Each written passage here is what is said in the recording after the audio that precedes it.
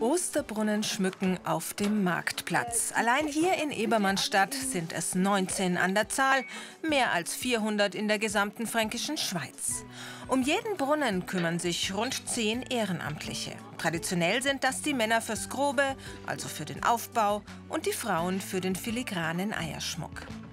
Die Vorbereitungen gehen meist schon im Oktober los. Da werden die Eier bemalt. Den Brauch gibt es seit mehr als 100 Jahren.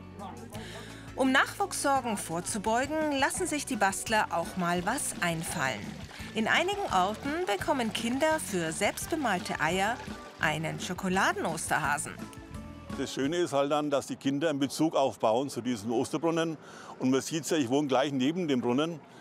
Wenn die Leute vorbeigehen, gehen spazieren, die Kinder werfen einen Blick hin, schauen hin, ist mal ein noch da und so. Ne? Und das ist ein schöner Bezug, den wir da herstellen können zu den Osterbrunnen. Mit ihrem Heimatort und dem Brunnen identifizieren sich auch ein paar Kilometer weiter in Weischenfeld die Leute.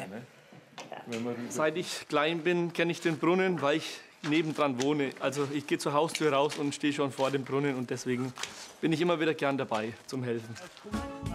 Kaum Nachwuchssorgen, also auch hier. Junge Männer in den 20ern treffen sich mit ihren Nachbarn aller Altersklassen zum gemeinsamen Osterkrone binden.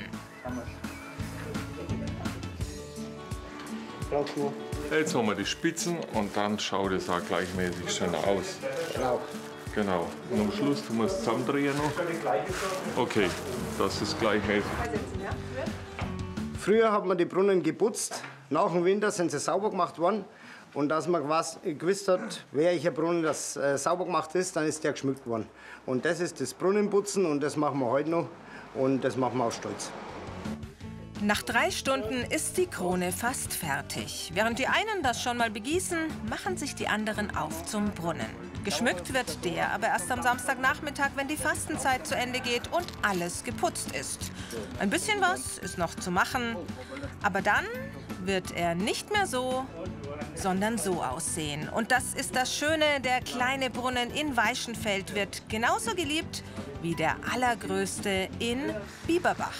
Mit mehr als 11.000 Eiern hat der sogar schon ins Guinness Buch der Rekorde geschafft als größter Osterbrunnen der Welt.